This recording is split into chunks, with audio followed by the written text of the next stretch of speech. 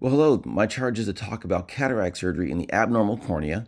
These are my financial disclosures, and I'll make sure that nothing impacts the subject matter of my talk.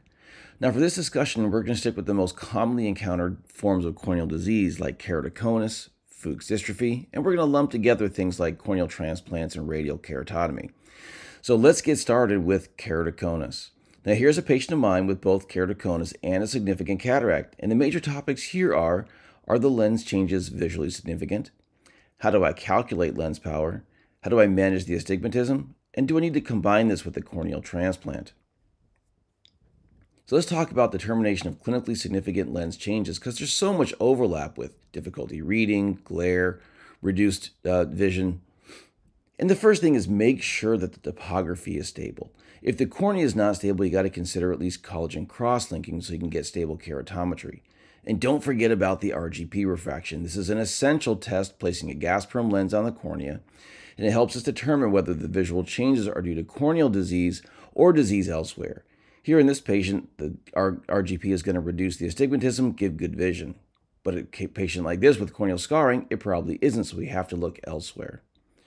Now, calculation of lens power is always a challenge with keratoconus, and that's because of the irregular astigmatism.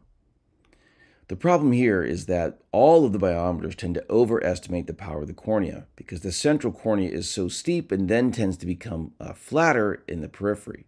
So we underestimate the power of the IOL, leaving our patients hyperopic. And it doesn't matter how fancy your biometer is, whether it's an IOL Master or a Pentacam AXL or some of the other more advanced keratometers, they all mess things up.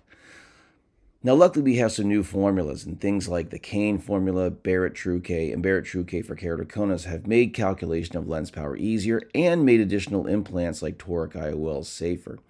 But don't forget, you have to use the keratoconus version of the formula. Here's the Kane for keratoconus. And this is the Barrett TrueK formula for keratoconus. You got to make sure you put it in keratoconus mode or you're not going to get the right IOL implant. Now, in the OR, what do you have to watch out for? While you've got very thin corneas, they might not seal up as well, the apical scarring, and very deep anterior chambers. And just look at this Pentacam. Look at how thin that peripheral cornea is. If you make an incision through that thin area, it may never close. So you'll have to consider doing a superior approach, maybe a supratemporal, or even go back to a near clear or scleral tunnel. Visualization of the red reflex can be challenging because of the irregular cornea, and using things like viscoelastic on the cornea can help, certainly using stains, and some people have even put gas perm lenses on. So now that you're taking out the cataract, you got to put an implant in. A lot of the studies will show that patients with stable refractions can use toric IOLs, and now we're experimenting, experimenting with small aperture IOLs. Now, on a rare occasion, the cornea is to blame, or is at least in part to blame, and that's where you're going to have to move on and do a triple procedure where you might need to do a corneal transplant and cataract surgery all at the same time. We really do try and stay away from these if possible. Next up is Fuchs dystrophy, another common corneal dystrophy. Here we have these guttata, and the key is recognition so you can do proper patient counseling, make sure they know they may have a slower recovery of vision with cataract surgery, get the right IOL and the right IOL calculation in there. Our history here is that diurnal variation, glare, and halo, similar to cataract, but a little bit different. And of course, you'll see the guttata and corneal swelling on exam. What I like to use is the 24% risk of PBK and a cell count less than 1,000. So when I'm looking at cell counts and I see less than 1,000, I start nudging the patient maybe towards a triple versus encouraging cataract surgery alone. So the question here is Does surgical technique matter? Can we impact things? And I think the answer is yes.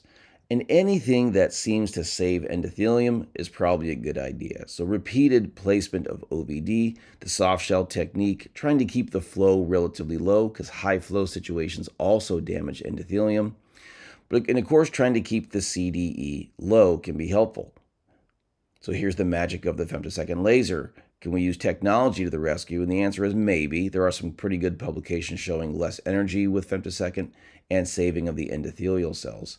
Then non-phaco type procedures. Here we're using endocapsular nuclear disassembly. If it reduces your CDE, there probably is some benefit. So here's just a quick example of somebody with Fuchs who may need surgery. They're going to have symptoms like glare, halo, difficult to tell if it's cataract versus Fuchs. The cell count's low and the pachymetry is not terrible. And we'll say here our cell count's right around 1100. This is a patient who I think you have to at least to talk about endothelial keratoplasty, but you can encourage cataract surgery alone. In a case like this, you're definitely going to want to encourage them to see a corneal specialist, target mild myopia, and warn them that things may take longer to heal. And what about multifocal IOLs? Can you place a multifocal or presbyopia correcting IOL? Well, the answer is you can put a multifocal on anybody, but you might not have a happy patient. But especially a non diffractive EDOF seems to do at least okay in patients with Fuchs dystrophy. It's not as good as a healthy cornea, but it can be done. And here's a patient of mine with mild Fuchs and a cornea. And this paper sums it up well. You've got to be careful in these patients. You got to do a good exam, warn them about corneal edema, and be very, very careful with their surgery. Last few minutes, let's talk about the surgically irregular cornea, corneal transplants, and radial keratotomy. Some of the most challenging cases out there. Now, here you see we're making our incision between the RK marks. And the challenges with RK is the unstable cornea causing diurnal variation. You may not get good, good keratometry, and during surgery, you definitely don't want to uh, interrupt those RK incisions. They are very, very difficult to close. We get lots of referrals for collagen cross-linking, but it doesn't really seem to do that much. So I'm not sure it's the answer that we're looking for. So it's all in the technique. We've already talked about missing the RK scars. And when it comes to corneal transplants, it's all about the graft host junction. Make sure there's enough room. Here, there's almost no uh, room for a clear corneal incision. We're going to have to move back into a scleral tunnel. Second example has more room for a clear corneal wound. You also have to worry about the cell counts. Healthy cornea means probably a good surgery. An older cornea with a low cell count, likely to fail and need a repeat surgery. And almost a quarter of patients, even with clear corneas, uh, will fail after surgery. So again, just like in Fuchs dystrophy, lots of OVD. And make sure you get those sutures out. Just watch this topography change shape as we remove the sutures. So make sure those sutures are out before you do the surgery. And again, the implant will depend on the shape of the cornea. Repeat the biometry multiple times, make sure it's stable. And we are experimenting now with small aperture optics, even in somebody with an irregularly shaped cornea. You can see the astigmatism here, doing well with uncorrected vision of 20/30. That's all the time I have. Thank you so much for your attention.